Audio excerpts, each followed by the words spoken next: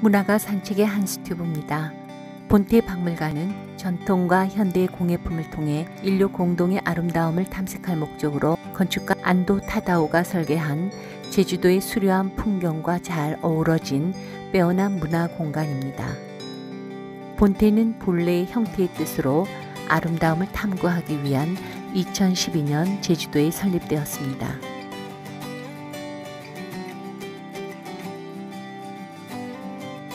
제1관은 한국 전통 공예품이 전시되어 있으며 다양한 소반, 목가구, 보자기 등을 통해 화려함과 소박함, 또한 단정함과 파격을 동시에 보여주는 수공예품을 소개합니다.